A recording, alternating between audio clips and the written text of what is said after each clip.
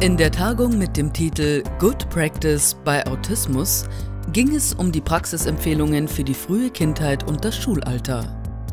Steff Ellig hat bei den Tagungsleitern Matthias Lütolf und Andreas Eckert nachgefragt, was die wichtigsten Erkenntnisse sind. Matthias Lütolf, Good Practice in der frühen Förderung. Worauf kommt es an? Als Ausgangslage kommt es darauf an, dass man die autismusspezifischen Besonderheiten eines Kindes früh erkennt. Wir wissen, dass Eltern schon mit sechs bis zwölf Monaten Besonderheiten erkennen, diese in einem geeigneten Rahmen auch ansprechen und dort ist es ganz klar eine Aufgabe der Fachpersonen, diesen Verdachtsmomenten oder diesen Sorgen der Eltern wirklich auch nachzugehen. Die zeigen sich einerseits in der Art und Weise, wie das Kind in soziale Kommunikation und Interaktion einsteigt. Das Kind reagiert nicht auf seinen Namen. Das Kind nimmt keinen Blickkontakt auf, beispielsweise. Es zeigt sich auch in, seiner, in seinen Verhaltensweisen, beispielsweise im Spiel. Ein sehr repetitives Spiel. Das Kind dreht ständig an irgendwelchen Rädchen, ist kaum aus diesem Spiel rauszuholen. Das sind so Indizien, die darauf hinweisen, hm, da muss ich noch mal ganz genauer anschauen. Und dann, was ist zu tun? Und dann geht es darum, das Kind sehr genau zu beobachten. Was macht es? Was ist von Interesse? Und an Grundfertigkeiten zu arbeiten. Das heißt, wenn wir über die soziale Kommunikation und Interaktion reden, geht es darum, die Aufmerksamkeit zu gewinnen. Das Kind als Gegenüber wahrzunehmen und in einen Austausch zu kommen. Wie geht es weiter dann mit der Förderung? Dann ist es natürlich so, dass es bei Verdachtsfällen natürlich die Diagnose auch ganz klar braucht, um zu sehen, ist das Kind im Autismus-Spektrum oder nicht.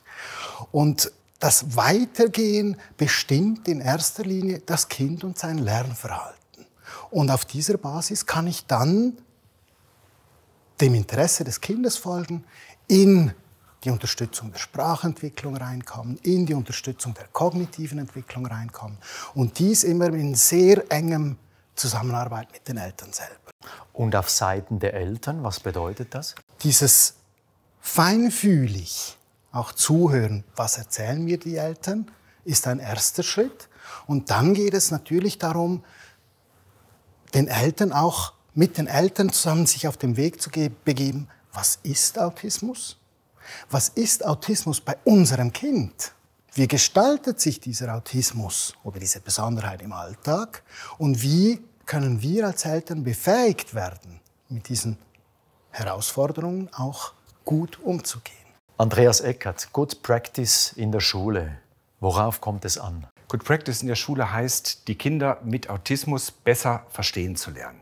Zu versuchen, ihre Besonderheiten im Denken, in der Wahrnehmung besser einordnen zu können ein praktisches Beispiel zu sehen, dass Kinder sehr empfindlich in, bei Sinnesreizen sind, zu viel an Lautstärke, an Gerüchen wahrnehmen, dass es oft zu eng für sie wird, ihnen hier auch Entspannungsmöglichkeiten, Rückzugsorte zu geben beispielsweise.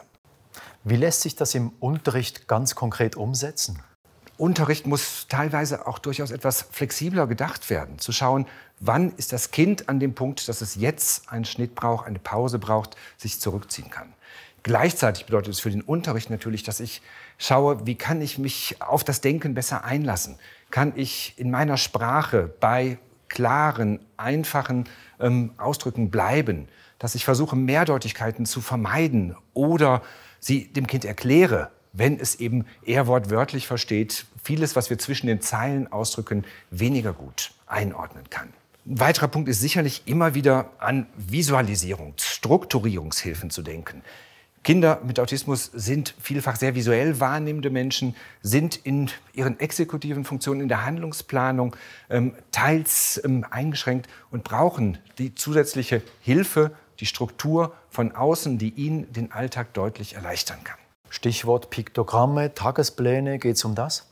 Das ist beispielsweise ein guter Weg, zu sagen, ich versuche das, was auf das Kind im Schulalltag zukommt, vorhersehbar zu machen. Vorhersehbarkeit zu schaffen, sicherlich ein ganz wichtiges Grundprinzip.